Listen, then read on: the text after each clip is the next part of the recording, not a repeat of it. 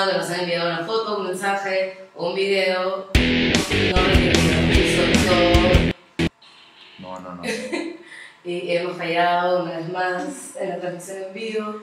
Pero ya, bueno, ¿a quién de nosotros no nos ha pasado que nos han enviado un mensaje, una foto, un video eh, no requerido acá, pics o propuestas indecentes? O tal vez hemos tenido miedo al momento de terminar con un novio, pareja, amigo chistoso.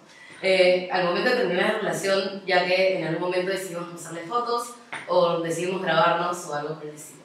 Hoy vamos a tocar el tema de acoso cibernético. Mi nombre es Andrea Tirado. Y yo soy Ciara Borna y este es el noveno capítulo de Ruja Hermana.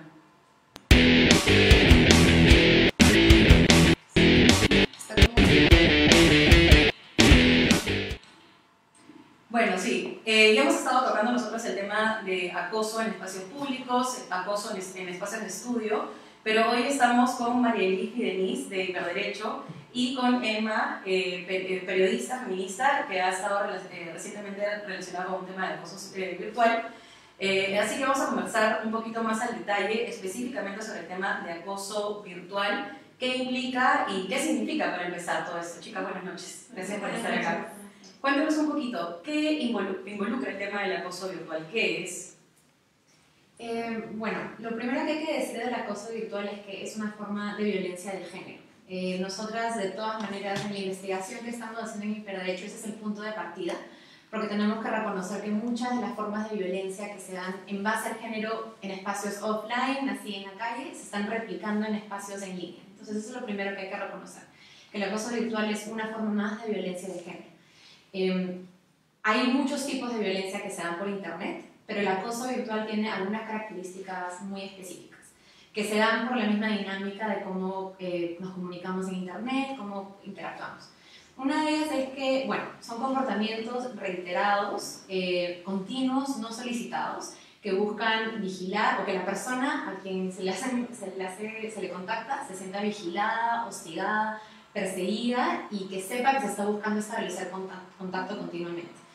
Este, se puede dar, puede venir una persona que conoces o como de, un desconocido. Lamentablemente eh, se da mucho que son personas conocidas, o sea, una expareja, un amigo, un compañero de trabajo que te empieza a buscar. Em, lo más importante que tenemos que reconocer en estos casos es que generalmente cuando nosotros no damos nuestro consentimiento para que se den estos intercambios, pero sin embargo persisten, es que generalmente estamos viviendo una situación de violencia o de acoso. Y no necesariamente tiene que ser sexual, ¿no? No, o sea, el acoso puede venir de, distintas temas, por así decirlo, ¿no? Puede ser que sí sea un tema sexual, que te manden, fotos de partes íntimas, videos, lo que fuere.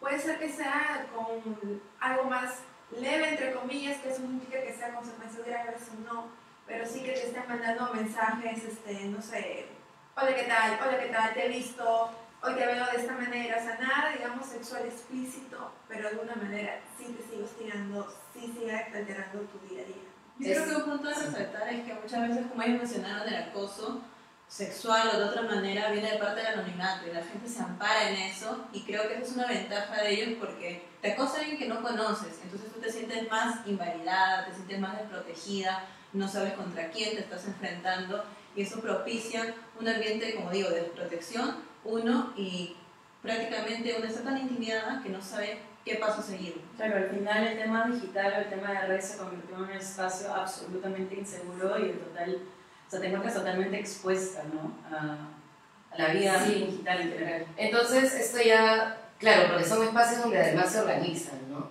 Entonces ya no es una sola persona la que te acosa, sino también ya son grupos organizados de vamos a desgraciarle la vida a alguien o vamos a acosar. O simplemente gente que quiere molestarte, como ya mencionaron, un X que quiere molestarte, hola, ¿qué tal? ¿Cómo estás?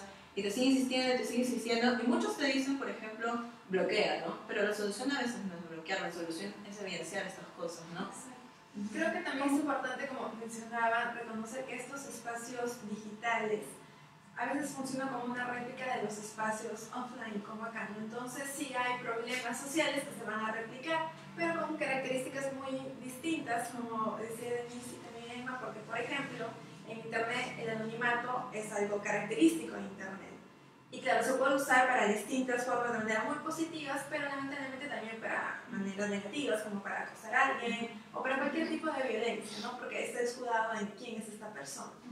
Y hay, bueno, para agregar a lo que dice Mavi, hay dos características más de Internet que son propias de Internet, que como ella dice, no es que sean negativas por, porque sí, por su naturaleza, o sea, se pueden usar de, de maneras muy positivas. Por ejemplo, una de ellas es la rápida propagación de la información. Entonces, eso es algo muy positivo porque si tú quieres comunicar una noticia, le llegan a muchas personas muy rápido, claro. O sea, hay una proximidad con personas de otros países que se puede aprovechar de una manera positiva. El problema con el acoso es que se aprovecha esa característica porque si quieres acosar a alguien o difundir, no sé, el material íntimo de alguien, va a llegar, vuela a muchísimas personas en cualquier parte del mundo mucho más rápido. Entonces, otra característica es la permanencia, por ejemplo. O sea, tú quieres hacerle daño a alguien, quieres malograr su reputación, cuelgas algo en Y internet ya está. y se difunde y trata de bajarla, o sea, Claro. trata de que desaparezca. Que, pero la permanencia puede ser algo muy bueno, o sea, si tú quieres que una, no sé, visibilizar una historia, qué bueno que siempre se quede ahí. Entonces, es importante reconocer esa complejidad, que no es que las características de Internet sean malas por sí solas, sino que están siendo usadas estratégicamente por agresores para hacer daño. Es el uso que se le da. Sí, hay una, hay una comunicadora chilena que dice, ay, esas plataformas idiotas. Pero en verdad las plataformas no son idiotas, los idiotas somos nosotros. Nosotros somos los que le damos el sentido a las plataformas. Y mucha digitales. gente cree que, o sea, estás en internet, y es internet, dicen, ¿no? Son redes. Cierras tus redes y ya está, no hay problemas, si te molestan. No es así, porque las redes, como ellos dicen, son una parte también de tu vida, son una parte de ti, son cómo te expresas, un- una extensión de ti mismo. Y entonces, ese nivel de agresión que estamos viendo en la calle se replica en estas redes, pero ¿qué hacemos contra eso, verdad? Claro, justo por ahí iba el, el tema más o menos de la, la pregunta con respecto al acoso, ¿no? Y cómo diferenciarla, de- o sea, el acoso sexual en redes, cómo eh, identificarlo de otro tipo de acoso de ciberbullying, cuáles serían las diferencias o qué tipos de acoso este, nos pueden Eh, bueno, yo creo que entre bueno, ciberbullying y acoso hay una diferencia muy sutil. Algo también a recalcar es que todas estas violencias que vemos en Internet no es que existen de manera independiente, ¿no? O sea, se apoyan entre ellas, un tipo de violencia puede llevar a la otra, a veces ocurren al mismo tiempo, entonces sí es importante reconocer eso, pero sí hay una diferencia sutil. Con ciberbullying eh, el objetivo es más que nada humillar. Entonces es hacer que la otra persona se sienta menos. Muchas veces, eh, bueno, eh, si pensamos en la palabra bullying, de simplemente de molestar, personas se toman, no sé, de la identidad de la persona, características físicas y tratan de usar eso para, no sé, humillarla, hacerla sentir menos. Ya en acoso lo que se busca es que esa persona se sienta vigilada, que se sienta perseguida y, claro, o sea, ella puedes entrar a, a territorios como, bueno, como dice Mavi, que una persona te hable todo el tiempo y que sepa que está pendiente de ti hasta que te manden eh, contenido sexual o que comparta tu material íntimo, o sea, ya abre la puerta para también el acoso sexual. ¿no? O esta otra, este, nueva, no sé, nivel que es traspasar el tema digital y ya llegar a accionar en la vida real. ¿no? Exacto. Todo se retroalimenta, retroalimenta al final. Exactamente, o sea, creo que es también importante darnos cuenta cómo así vayan apareciendo nuevos espacios, nuevos entre comillas, o vamos desarrollando nuevos este, espacios de comunidad, plataformas, lo que fuere. Igual nos estamos dando cuenta que el machismo va entrando, va entrando porque no es como algo tecnológico, ah, ya solamente son números y ya no, somos personas las que estamos desarrollando todo esto, somos personas las que utilizamos, entonces vamos con buenos objetivos, con objetivos que no nos damos cuenta y de pronto ya tenemos un gran problema. Exactamente. Y tampoco no ver como, ah, lo digital es lo que pasa de la pantalla para atrás, ¿no? Y yo estoy acá, entonces hay una brecha gigante. O sea, lo que pasa en espacios digitales es una, es un- simplemente un como una exposición más de nuestro yo, ¿no? Vamos des- descubriendo nuestro yo también en, en plataformas, en espacios digitales. Entonces todas las consecuencias también nos van a llegar en espacios reales. Quiero apuntar, apuntar eso porque justo una persona me dijo, un, amigo me dijo, qué pena que Internet se haya degradado tanto y que, esté, que Internet está propiciando estos comportamientos. Y yo le dije, no, estos comportamientos ya existían antes de Internet. Sea, el machismo ya está arraigado tanto en la sociedad que buscan cualquier ventanita, buscan cualquier lugar para atacarnos, ¿no? También se moderniza. Claro, se revitaliza también de nuevas plataformas, de nuevos lugares, para poder al final tratar de minar a las mujeres en este caso, para que se queden calladas o se sientan intimidadas siempre. Y hemos visto también casos súper conocidos antes de que exista la ley de acoso cibernético. Por ejemplo, este, el caso de Gabriela Miller, que fue acosada, pero también le decían cyberbullying, entonces es como que... Puede ser víctima de todo, como decían, ¿no? Al final todo se complementa. Claro, yo, yo recuerdo el caso de Gabriela, periodista eh, peruana que radica en España, que ella tiene una videocolumna en un portal web muy conocido de noticias y mayormente lo que la gente comentaba, cuentas anónimas, cuentas falsas, incluso personas reales, lo que más comentaban no era lo que ella estaba expresando, el contenido, contenido política, social, no. Lo que más comentaban era su aspecto físico, tratando de denigrarla y humillarla, eh, ponerle siempre, yo leía todos estos comentarios de ¿por qué no te peinas? ¿Por qué tienes esa cara de, y, y la humillaban por rasgos étnicos y esas cosas? Y era casi siempre. No había un día en que no le hagan ese comentario cuando ella posteaba su videocolumna. Y bueno, ella al final lo hizo público y mucha gente se empezó a dar cuenta, creo. Yo también me di cuenta, oye, eso también está mal, ¿no? Porque tú puedes recibir un insulto, pero tú tienes que darte cuenta que eso no está bien. Es como que alguien te insulte en la calle, que alguien te insulte en las redes, también es igual de humillante y de Sí. Aprender, en verdad, claro, nosotros hemos tenido esa conversación antes, como que, ¿por qué aceptamos algunos mensajes escritos si en la calle no lo aceptaríamos por igual?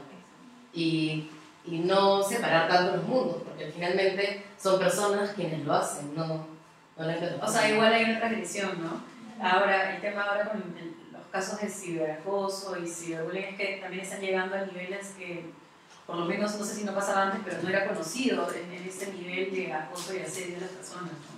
Creo que ha ayudado mucho que esté en boga el tema, porque mucha gente se amparaba en el hecho de, no, pero yo te puedo decir lo que quiera, pero es un comentario de internet, y la gente se olvida de que la libertad de opinión, la libertad de expresión, no significa libertad de agresión para humillar a alguien, para molestar a alguien. O sea, tú puedes opinar, tú estás en el mismo nivel, puedes decirle tal y tal cosa, pero si una persona transgrede ese límite, o sea, ya estamos mal, pues, ¿no? Claro, ahora perdón, ¿han, han identificado algún tipo de, de, digamos, público o personas o gru- agrupaciones más vulnerables a ese tema de acoso?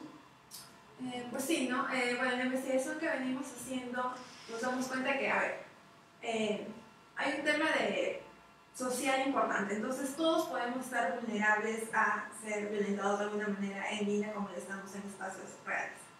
Eh, pero sí, lamentablemente los, eh, la, la población, los grupos minoritarios que, han estado, que están en estados de vulnerabilidad, también están en estados de vulnerabilidad en espacios eh, digitales, ¿no?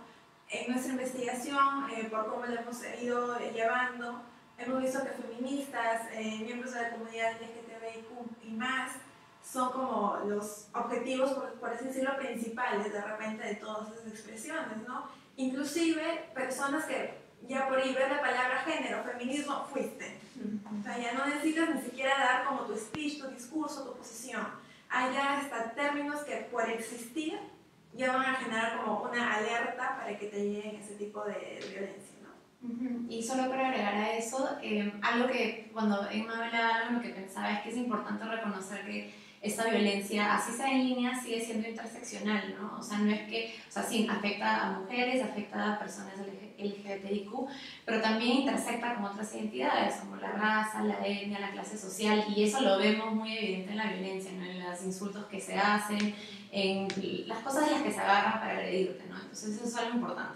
Y para agregar un poco a lo que comentó Noé de los públicos que son más atacados, sí, hemos identificado a, a mujeres, personas LGBTIQ, activistas, defensores de los derechos humanos y defensores de los derechos de la mujer, eh, mujeres o personas LGBTIQ de origen indígena, origen africano, eh, y bueno, personas que trabajan en audiovisuales, periodistas. Es importante también mencionar eso, porque por la misma naturaleza del trabajo tienes que estar muy expuesta, o sea, tu imagen está expuesta, tu nombre, por lo tanto a veces tus datos personales, y también, como digo, intersectan, ¿no? Entonces, eh, si eres mujer y además te dedicas a audiovisuales, a periodismo, a visibilizar historias de violencia, y hablas de género, y hablas de feminismo, Como la, claro, acosador ya. de, de Juliana Oxford parada afuera de su casa. Y ¿qué te pasa?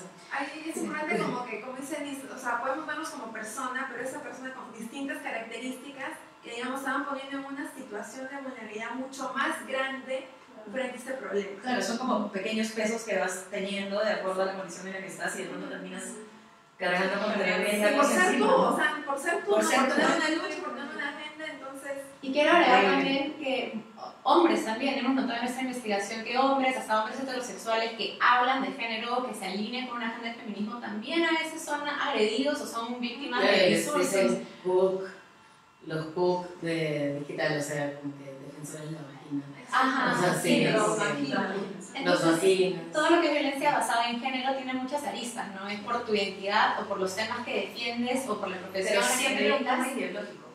Eh, al menos en la investigación que hemos hecho, sí, porque estábamos tratando de identificar qué formas de violencia de género se dan, ¿no? Y digamos, uno de los hallazgos fue que sí, mujeres y personas LGBTIQ son afectadas, pero también las personas que hablan del tema, ¿no? Eh, como dijo Mario, personas que quieren hablar de feminismo, que quieren hablar de igualdad de género, eh, que quieren hablar de, de derechos, así de cruces ya de alguna manera están un poco más expuestos.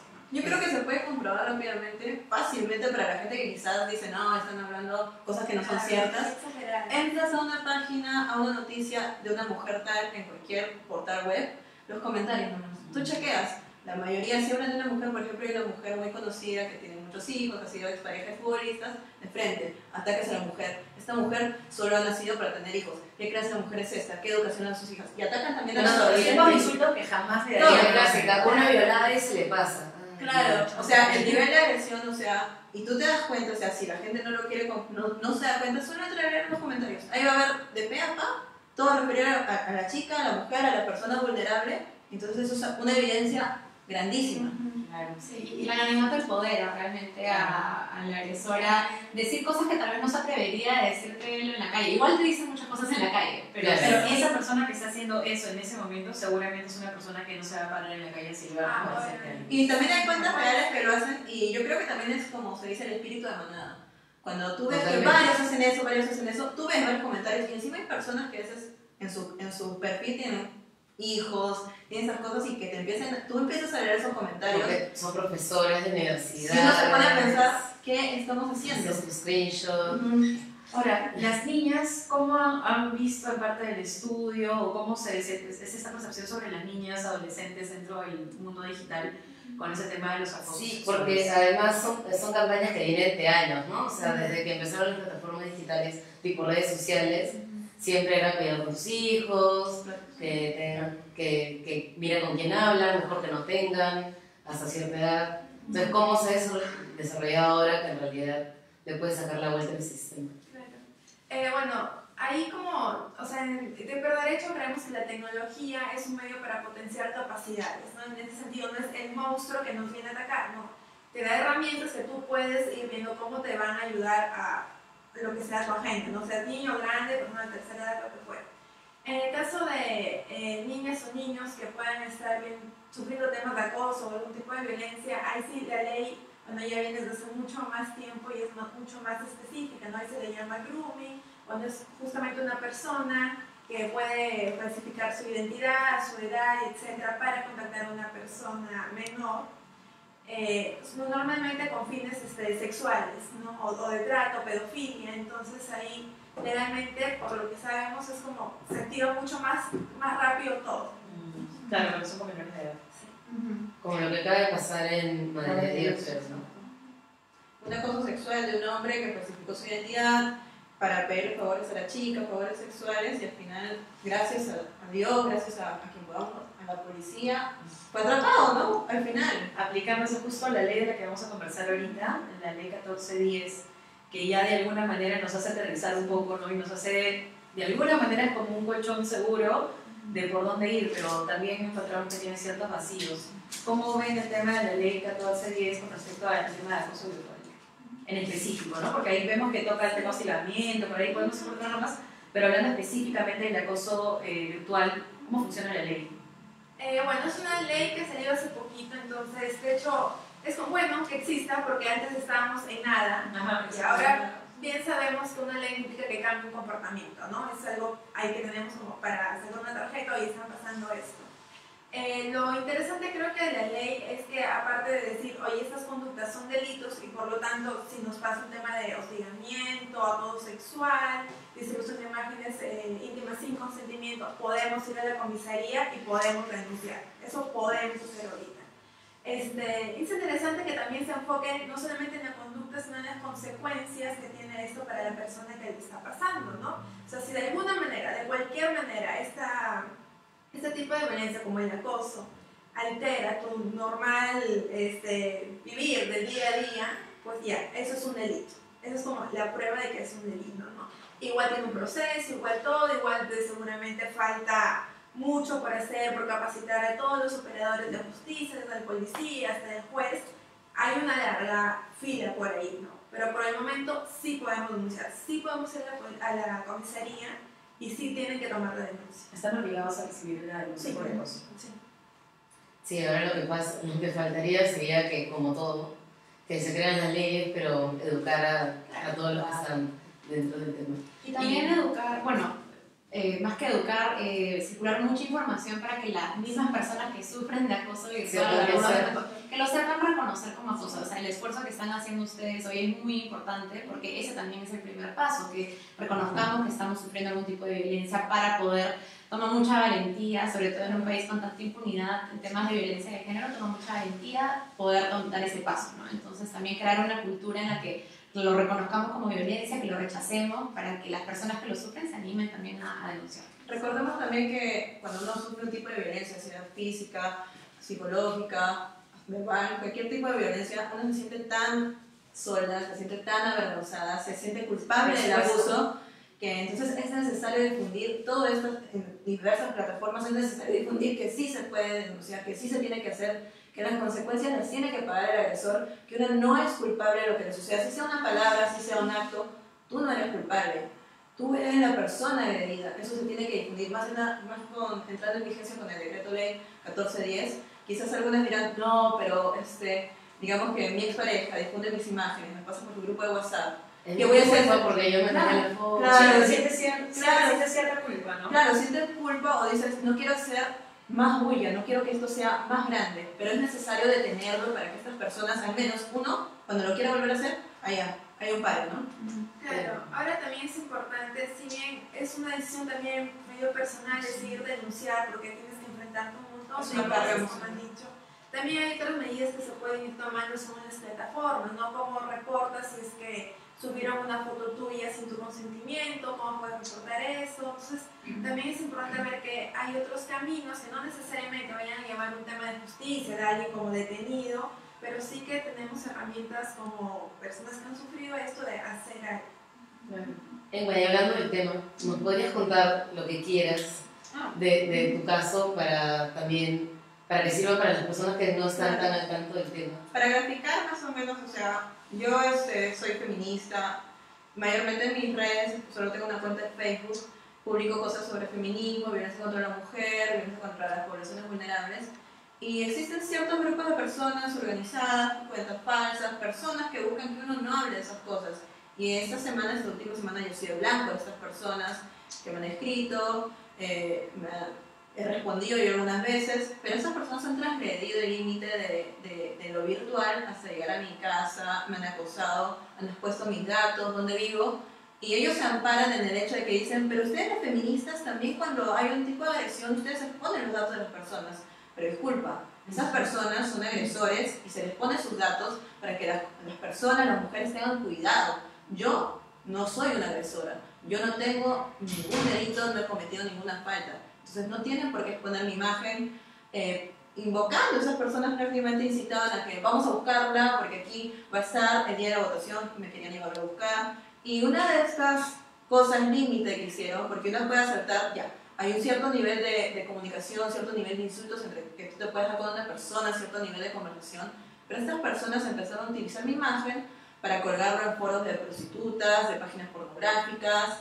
Entonces hubo un momento en que yo misma me dije, bueno, pero esa foto mía es pública, es una foto normal. Te pública". hizo Claro, pensar. me hizo pensar, yo dije, yo puse la foto y de ahí yo misma me, me asesoraron, me dijeron, tú puedes poner tu foto pública, puedes poner lo que tú quieras, pero nadie tiene derecho a difamarte y a poner información que no es. A mí me pusieron prácticamente que daba servicios sexuales, me pusieron en algunos foros y esta gente se regodea del hecho de que, no, es que eso es lo que te mereces. Yo por comentar, yo por hacer un tipo de Por responder. Por responder, mejor dicho, yo no estoy cometiendo ningún delito. Yo no estoy yendo a ningún lugar a hacer eso. eh, me he dado cuenta que estas personas se amparan ese hecho. No, pero tú también contestas que para qué pones eso. Hay quienes te dicen, pero mejor, o sea, fue tu culpa porque tú te lo buscaste. Disculpa, pero se ponen al mismo nivel de si te violaron es porque cómo estabas vestida. Bueno, La culpa de la víctima siempre. Claro, y acá en este punto, en lo que es mi caso, yo no he cometido ningún delito, pero estas personas sí han cometido un delito de exponer mi imagen a cosas que no son ciertas.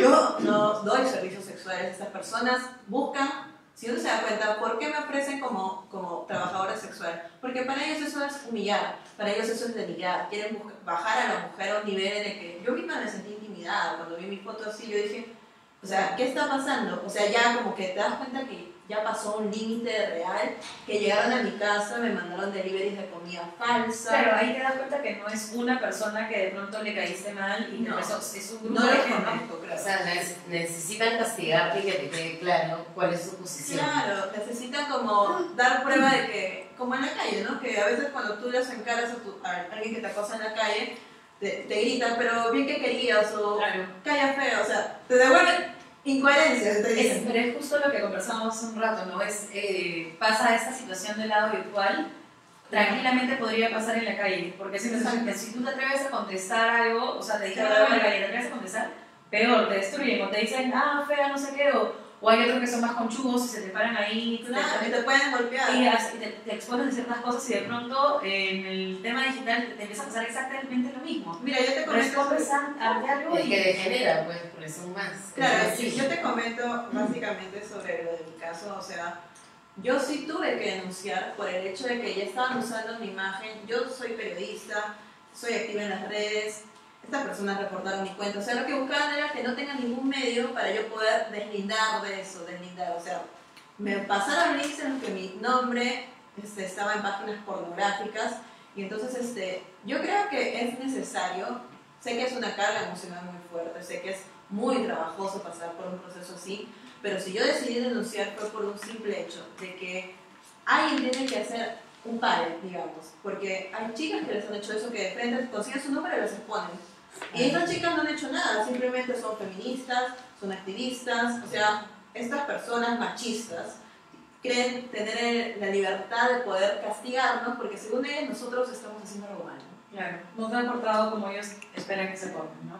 ¿Y el medio donde trabajas, recibiste apoyo de ellos? Ahorita yo estoy freelance, pero todos mis conocidos me apoyaron mucho, por eso pude denunciarlo en la televisión. Hasta en la televisión. Yo llegué a la En caso televisión. a la Claro, yo televisión. llegué a la televisión porque eh, quizás mi caso ayudó a que yo conociera gente.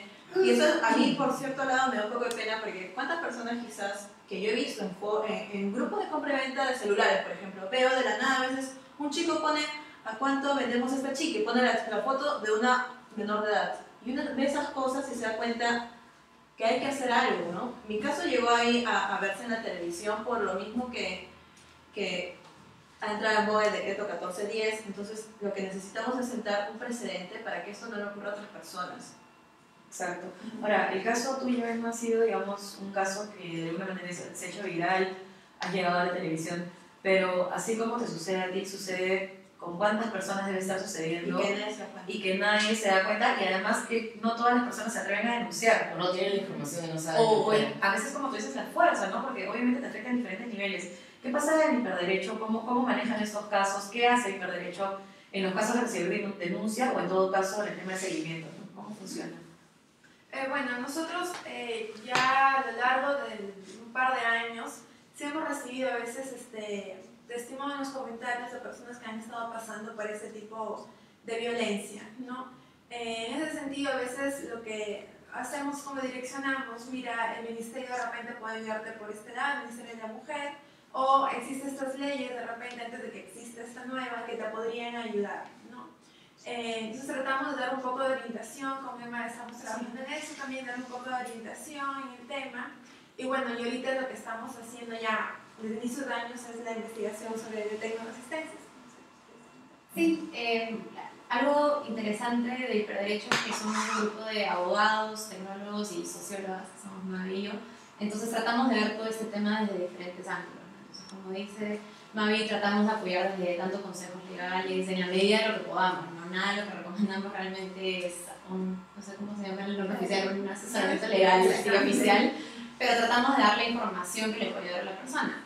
Y bueno, con este enfoque de verlo de diferentes ángulos, creamos este nuevo programa que se llama Tecnoresistencias, que es un programa de investigación y de activismo que, bueno, la primera etapa fue el trabajo de investigación que se hizo los últimos seis meses, tratar de entender cómo opera la violencia de género en línea en Perú, o sea, específica del contexto peruano, quiénes son las personas que más sufren por ese tipo de violencia, cuál es el perfil de los agresores, eh, con qué frecuencia se da, tratar de entender el problema, ¿no? Y con esa información lo que vamos a hacer es levantar un centro de autodefensa digital feminista en el que vamos a ofrecer recursos, herramientas eh, de privacidad y de seguridad digital, ¿no? con un enfoque de género, porque algo que quiero agregar a todo ese tema de que está muy bien que ahora tengamos las oportunidades de denunciar, pero desde sociedad civil también podemos empezar a ser estratégicos sobre cómo compartimos nuestra información en Internet, cómo manejamos temas de privacidad y de seguridad para que poblaciones vulnerables no estén expuestas a, más violencia de la que están expuestas. Entonces, esa es una de nuestras metas,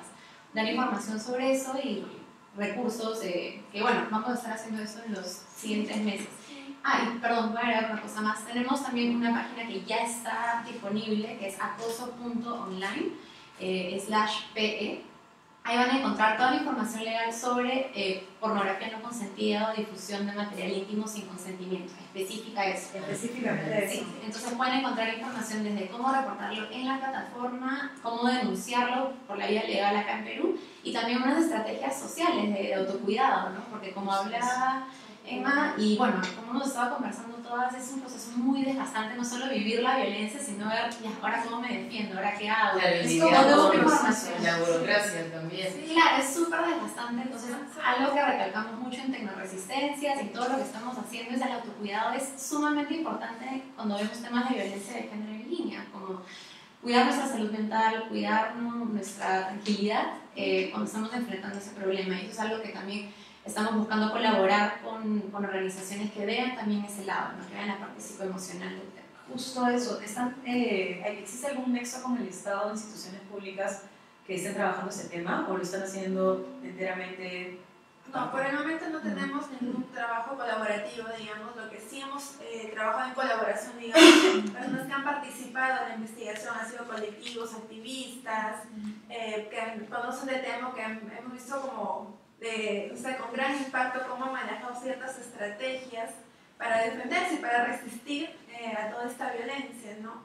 Y es en respuesta a esto que también, este, bueno, en noviembre vamos a estar presentando todo esto y ya luego queremos hacer talleres de seguridad digital para activistas, feministas o personas en general. En realidad es un poco, yo pienso, lamentable que una persona que ya se siente desprotegida en las calles, las mujeres nos sentimos desprotegidas en las calles, ahora en las redes tengamos que cuidarnos. Yo pienso que es, es, es, es un poco penoso que hayamos tenido que llegar a ese punto, pero ahora tenemos que fomentar el autocuidado. Eh, yo les puedo decir de que en lo que es mi caso, por ejemplo, eh, tengo un soporte emocional, eh, yo estoy yendo también con el ministerio, te dan, les digo que viene un psicólogo, te ayuda, porque el proceso es realmente agobiante, en el camino te puedes cansar, pero uno tiene que tener en cuenta de que al final no fue tu culpa, al final tú eres la que tienes que demostrar de que estas personas son las que se equivocaron. Y como dicen las chicas, cuidar nuestras redes, ahora nuestra, nuestra imagen, todo lo que podamos cuidar, que sea posible para que no caiga más a nuestras personas, porque uno en realidad debería tener la libertad de, De de, de opinar, de decir todo lo que queramos. Pero estas personas vienen, Pero al parecer ya no. ya no, como en la calle, que a veces uno dice, ay, no voy a pasar por esa calle porque hay un grupo de hombres, no, no, no, no, no, me doy la vuelta, acá también. Voy a poner mi perfil aquí privado, acá voy a bloquear a otra persona, y en realidad es un poco exhaustivo, ¿no? Claro, y en realidad el problema nunca va a ser, perdón, la solución nunca va a ser técnica o tecnológica, ¿no? es un problema social. Sí. Entonces, la verdadera solución es ir al tema de raíz, De y raíz, erradicar la violencia en el país. Entonces, nuestra propuesta no es, bueno, como que la privacidad y la seguridad digital esto se va a acabar, no. O sea, No. es, no va por ahí, pero es simplemente un tema para mitigar y para resistir. Y algo que hemos estado trabajando mucho es también como pero de hecho sí creemos que la tecnología es algo que puede llevar a la transformación social, a la inclusión social. Sí tenemos una opinión todavía optimista de la tecnología. También queremos como fomentar esta idea de que la podemos usar de manera muy estratégica, ¿no? O sea, si los agresores lo están usando de una manera estratégica para hacer daño, nosotros también cuando queremos defendernos podemos ser muy estratégicas. Y eso significa entenderla bien. como conocer, informarnos, saber cuáles son nuestras opciones, cuáles son las herramientas, porque ¿Qué canales seguir también, no? Sí, qué plataformas usar, eh, porque algo que también eh, puedo hablar por mí, eh, los últimos, no sé, 10 años, 15 años de mi uso de internet ha sido muy orgánico, ¿no? Como que usas todo, te metes a todas las plataformas Sí. donde están tus amigos, Sí. te bajas todas las aplicaciones y en verdad, personalmente no estoy hablando como hiperderecho, sino como Denise, yo no he sido crítica los últimos 15 años de mi uso de la tecnología. Y a raíz de ese problema, a raíz de esta investigación, estoy empezando a hacer crítica también. Entonces, es, es hacer ese trabajo, o sea, pensar cómo podemos ser estratégicas, reafirmar nuestra agencia, nuestro poder de, de decisión frente a, a- a- a la situación. ¿no? Claro, y ahí creo que es muy importante cómo, o sea, conforme uno va usando, ¿no? Porque uno no aparece y dice, ah, no, qué crítico, a ver, voy a, Claro. voy a ver que, que de repente deberíamos, pero, ah, o sea, creo que conforme vamos usando algo, también vamos tomando más conciencia de cuánto nos estamos proyectando ahí. Ay, a mi nombre sale, mi cara sale, eh, el nombre de mi familia sale. Pues si voy a ser activista de repente, ahí no muestro la cara todos los días, o viendo cuál es la mejor manera para sentirnos seguras teniendo nuestra agencia que queramos tener. Bueno, es que igual ese espacio es cada vez más reducido, ¿no? Porque también es el cómo han cambiado las redes sociales. Si antes eran un complemento, un anexo, que se va nosotros. Ahora ya no, claro, ahora vives, o sea, tra- a la gente que trabaja a través de las redes sociales, vives a través de las redes sociales, Nosotros. la información, la información fluye a través de las redes sociales, las Sí, usamos sí. todo el tiempo, entonces ya al final se vuelve parte de tu vida y todas esas libertades también se convierten en limitaciones en muchos casos, ¿no? No, y hablando de, de lo que estaban ahorita comentando, de las. Claro, así como estos grupos se organizan para denigrar, hacer bullying o acosar, eh, ¿han visto tipos de estos grupos? ¿Los han logrado identificar, los grupos agresores? Al perfil de agresores, sabes que es muy complicado porque, o sea, sí hay como un- una tendencia, ese tema de los ataques coordinados, hemos- nos hemos dado cuenta que es súper común, o sea, de, de las violencias que identificamos fue de, de las más comunes, eh, pero no tienen una, una agenda muy clara, o sea, tienen algunos perfiles, algunos son de, de tipo conservador, por ejemplo, los ataques coordinados en contra de las personas LGBTIQ, o en contra, por ejemplo, Del del, aborto. del aborto legal y seguro, tiene un perfil más conservador, tal vez más religioso, pero también hay otros grupos que tienen un, manejan un discurso muy, discurso muy misógino, que simplemente va por ahí. Entonces, eh, depende. Yo creo que lo único que hemos identificado es que estos grupos lo que buscan es definir la narrativa, o sea, definir quiénes pueden participar en estos espacios y quiénes no. Entonces, operan de tal manera que tratan de bajarse las publicaciones Que no le gustan. que no les gustan, las que rechazan o con las que están, no sé si piensan diferente en esas publicaciones, para asegurarse que la narrativa que ellos quieran ver en internet siga vigente, ¿no? O sea, esa es un poco la estrategia y se da por diferentes ideologías, y es- pero... Y es descentralizado, ¿no? Porque al momento, no sé, nos atacaron, atacaron. Eh, un grupito de chicos, de, de hecho un grupo privado, y porque claro, obviamente tienen sus grupos privados para, ah, ya ataquen esta página. Pero tú te ponías a entrar y hay unos, como tú decías, que no solamente atacan desde su perfil falso, sino desde su perfil personal. Y es Sí. como que, Sin vergüenza, ya. sí, o sea, orgullosos. es como que, ¿qué, ¿qué onda? O sea, dejas de trabajar, dejas de hacer lo que estás haciendo, porque tu prioridad es bajarte de estas feminazis. Mira, mira, yo te Sí. comento algo de justo estas personas, estos perfiles, perfiles reales que tienen como 100 cuentas falsas, este, dicen de que las feministas también nos bajamos sus páginas, pero ¿qué es lo que nosotros reportamos? Temas de violencia, temas de acoso, que por ejemplo, imágenes explícitas, reportamos que por ejemplo hay insultos contra una mujer, eso reportamos, no reportamos cosas buenas, reportamos las cosas malas que hacen daño. Las pero cosas esto que se tienen que las reportar. cosas que no deben estar, que no deben estar deambulando por ahí, pero estas personas nos atacan porque dicen, no, pues si ustedes hacen eso, nosotros también, pero nosotros so- solo difundimos los casos. Claro, poco de los es, que casos, es, es educación, ¿no? Porque es como que, ay, el feminismo lo cuestiona, chicos. Justo uno, El uno los feminismo, o sea, la última, la, la próxima persona que me diga feminismo y no cuesta el machismo, por favor, no cuesta nada, googlear, buscar. Retírate de mi vida. Justo uno de los casos que ha sonado esta semana ha sido el proyecto Varela. Proyecto de la ¿Qué pasó? ¿Por qué eh, han identificado esta página como una de las páginas, no sé si con más movimiento, o por qué han querido atacar esta página que hicieron? Claro, creo que eso podemos ver un poco como en general, diciendo que, a ver, tienen una agenda estos grupos organizados, ¿no? Que no es una agenda que pública, obviamente, que no es que estén ya hoy día vamos a hacer esto, así, ¿no? Sino que van a un objetivo más grande, que es como todo lo opuesto a una sociedad heteronormativa, todo lo opuesto a lo que un hombre debe ser, todo lo opuesto a lo que una mujer debería ser, hay que sacar. Todo lo que no Todo lo que calza no con visión. con eso, hay que sacar, lo sacamos. Y a partir de eso arman su agenda, ¿no? ¿Quién está gritando mucho? Acá, vamos. Y no son como cinco personas que por ahí van, o sea, hablamos de números importantes, de, no sé, de repente más de 100 personas que están ahí coordinando, y coordinan bien. Eso, no es la un proceso, hay toda una Es estructura de trabajo. Por, por eso usamos la palabra estratégico mucho, porque Sí. es muy estratégico, o sea, es muy coordinado. ¿Pero por qué? O sea, 200, 300 personas que te ataquen al mismo tiempo, ¿cómo haces? Y eso es algo que ellos consideran también, o sea, como, como grupo, ¿no? Entonces, por eso también recalcaba antes que es muy importante como entender el problema, entender cómo operan, para que las personas que están siendo atacadas también sepan cómo organizarse. Cómo Porque también, yo creo que también el tema es porque no- no sabemos por dónde van. En el caso del proyecto Aurelia, se bajan la página para cre- crearles una página nueva. Eh, Bueno, no se la bajaron, ¿no? El Proyecto Varela es una página que publica denuncias, alertas sobre algunos casos contra la violencia de género, con el alerta acosador, postean denuncias. ¿Y qué pasa con estas personas que quieren bajarse la página? Estos grupitos dicen, no, eso lo que están haciendo está mal, no pueden hacer eso. Entonces se bajan la página, reportan, reportan, reportan. Ahora las páginas feministas se están tratando de protegerse ocultando sus páginas. ¿Y qué hacen estas personas? Se crean un- una cuenta crean. falsa con el mismo nombre. ¿Para qué? Para confundir y para desde ahí mover sus noticias falsas, sus noticias en las que eh, eh, yo siento que en las que el machismo impera, pues. Claro, es como entró, entró a un espacio que era seguro, un espacio feminista que estaba buscando, luchando por derechos, de pronto entró a decir, no, yo mando acá y se hace lo que yo digo y punto. Sí, y en realidad, bueno, es una opinión que hemos estado hablando mucho esta semana, pero yo creo que esta, como parte de esta estrategia es aprovecharse también de la vulnerabilidad misma de la plataforma, ¿no? Porque algo que hemos notado también en todas las entrevistas que hemos hecho es que así reportes a Facebook. Facebook, en el caso de Facebook, ¿no? O sea, puede ser distinto en cada red social, pero así reportes, no necesariamente el equipo de seguridad digital va a entender el contexto de Claro. cómo se ha reportado, quién ha reportado, quién es el agresor, quién Ah, es el atacado. O sea, simplemente el equipo de seguridad digital, que ni siquiera está en Latinoamérica, así habla en español, está en Europa, recibe 200, 300 denuncias y dicen, ay, ya bueno, entonces Algo debe estar mal, claro. Y entonces la plataforma en sí tiene ciertas vulnerabilidades que están siendo aprovechadas, ¿no?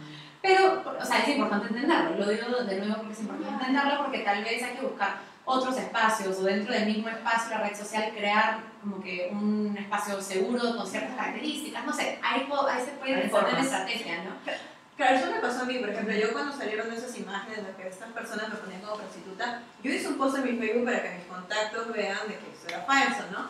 ¿Y qué pasó? Mi post se lo bajaron. Yo puse los screens de lo que me decían y Facebook me bajó a mí el, post como, y me batió la cuenta porque se suman los, los reportes, el algoritmo de Facebook solo detecta denuncias masivas. Y me Algo. O sea, yo soy la agredida y a mí me reportan. Pero en Twitter yo tuve otra experiencia. De frente en Twitter son más eficaces, me parece, porque yo reportaba algunas cuentas que tenían puros insultos, comentarios misóginos. Y Twitter en un par de horas hemos anulado esta cuenta. Hemos eliminado esta cuenta por, contener, eh, por tener contenido que incita al odio de frente. O sea, creo que es un poco de las plataformas que también necesitan tener herramientas reales de seguridad. ¿Cuál es el movimiento? de- ¿En qué, digamos, ¿En qué redes sociales se encuentran estos grupos? Aparte de Facebook y ahora Twitter, ¿no? Mira, ahora que yo, yo tengo entendido, por ejemplo, hay foros, mm, hay diversas páginas peruanas de foros, hay foros, hay uno bien conocido, Taringa, en todos estos foros deambulan estos seres. Están en Facebook porque hay mayor gente, pero después se, se van a grupos de WhatsApp, se van a diferentes lugares donde puedan tener la conexión para poder atacar, para poder sumarse, porque a veces puede empezar con chistes. Ay, este, me bloquearon a mí, este, hay que, hay que agarrarnos con ella, cosas Claro, así, algo que personal mínimo. Y por eso, o sea, yo quiero recalcar que las feministas no reportamos cosas porque se nos dio la gana, porque, porque me caíste mal, no, nosotros reportamos en base a un objetivo común, que es cuidar a las mujeres, protegerlas. O sea, no reportamos porque me dio la gana. Hoy día quise reportarte a ti porque me caes mal, nada que ver. Nosotros reportamos para proteger. Claro, y eso es lo que se está castigando, entre comillas, con ese tipo de acosos. Claro, como la gente en la calle que a veces te dice, ¿por qué haces esto? Y te dicen, no deberías haber pasado por ahí para que no te ataquen, es la misma gente. Claro, es el mismo tipo de prevención. Y hablando desde ya el punto de vista del Estado, ¿qué es lo que deberíamos esperar de las entidades del Estado como para no sé, educar a la población sobre el tema. Porque, claro, ahora que ya no hay day este, ya se puede utilizar la televisión, la radio, otros medios de comunicación como para informar. Claro, o sea, yo creo que, o sea, lo primero es como informar y educar. Este, como cuando empezó con, con el tema de acoso callejero. Antes, ¿qué era eso? No, no escuchabas eso ni siquiera como palabra.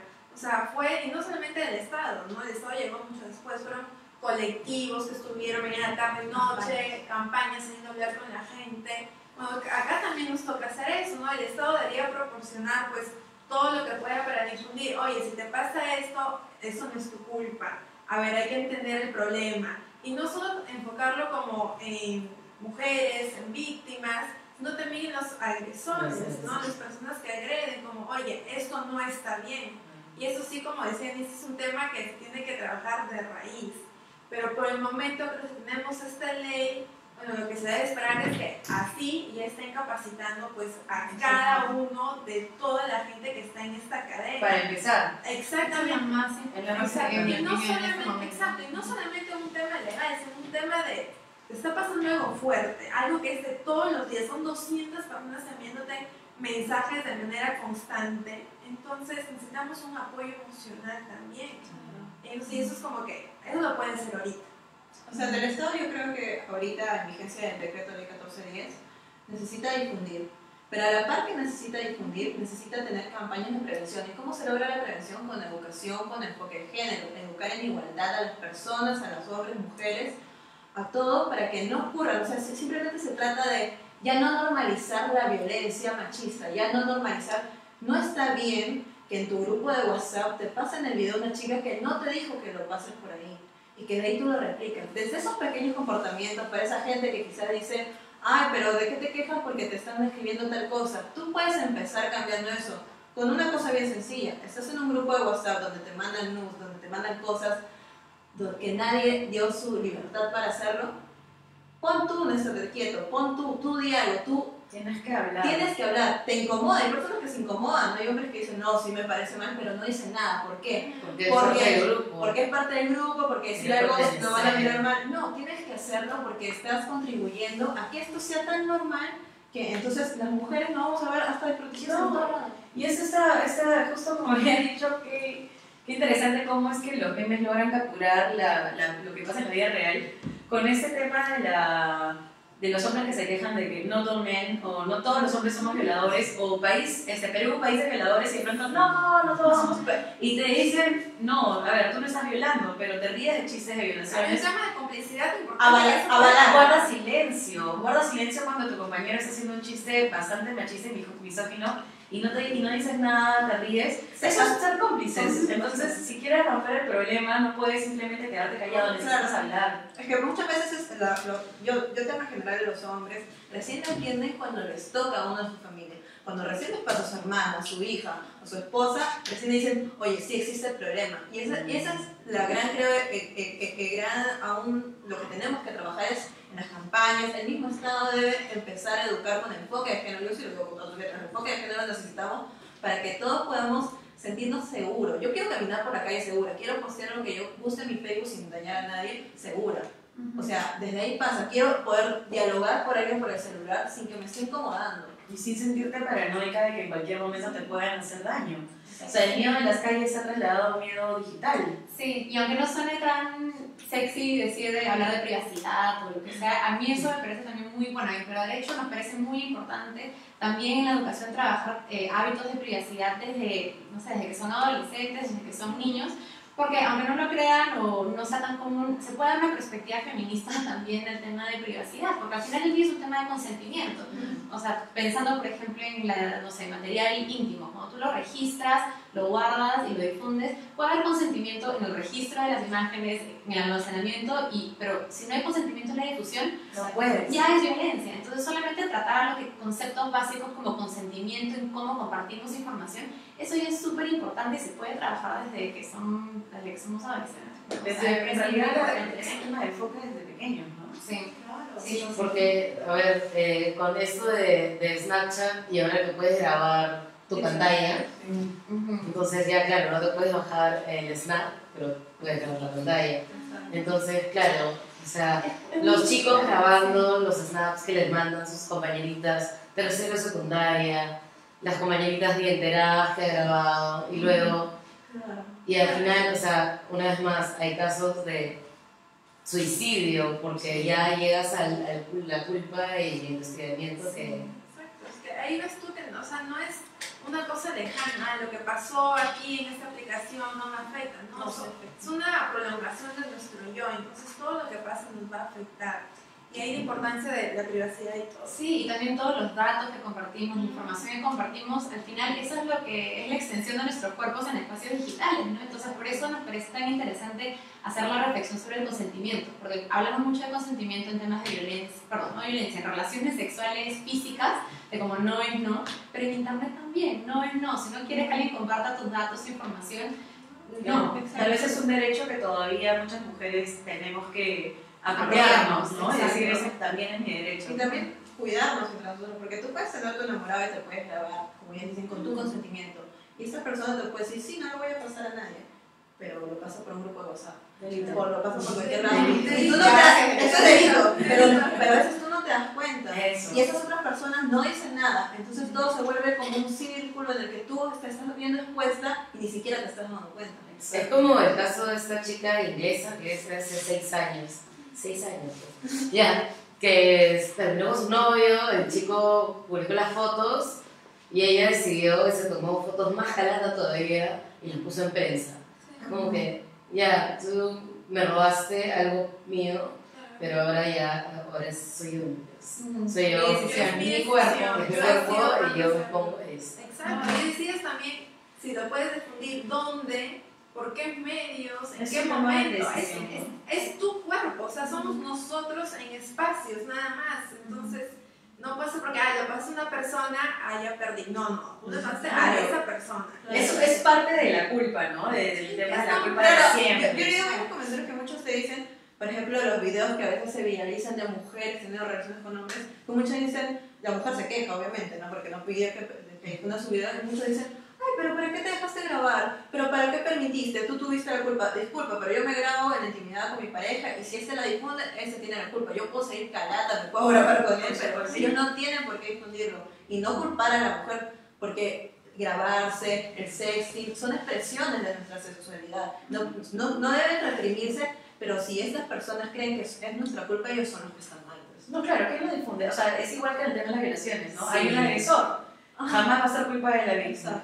No, y me acabo de acordar de esto, es que también es daño para los hombres que no quieren participar. Entonces hay grupos que se crean, ya, tienes que mandarnos la foto de la que te tiraste el fin de semana. es como que, uno, no me tiraba a nadie, o me tiré a alguien pero no le voy a tomar foto porque es mi amiga. Se ven en la obligación de buscar en Google fotos de una random y pasarlo o sea, sí, sí, amiguita. Y si se salen del grupo, los sildan de. Sí, cabro, marica. No te gustan las mujeres. Cuando no se dan cuenta que ves esas personas están haciendo, oye, esto no es así. Y como el otro es espíritu, siempre espíritu de grupo. Porque a solas no manada. Espíritu de manada. Bueno, chicas, otra vez el tiempo voló. Muchísimas gracias por habernos acompañado. Creo que sí, habría que quedarnos con algo, que es de lo que hemos estado conversando, el tema de autocuidado, porque ya ahorita ya no hay límites y otra vez ¿no? Se perdieron las barreras. Mientras, esperamos, mientras esperamos que esta nueva, ojalá, no, esta nueva generación crezca bien. Ya tenemos 20 años más para seguir cuidándonos. Sí.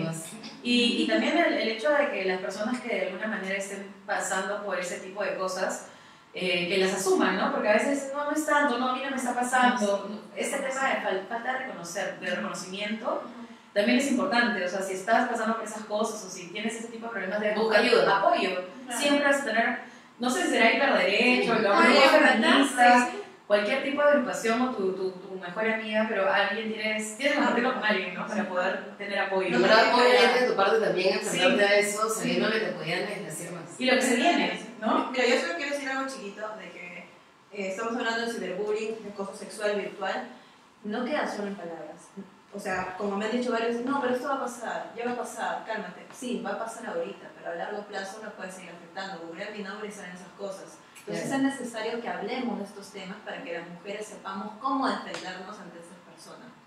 Cómo actuar. Muchísimas gracias, chicas. Gracias. gracias. gracias. Adiós.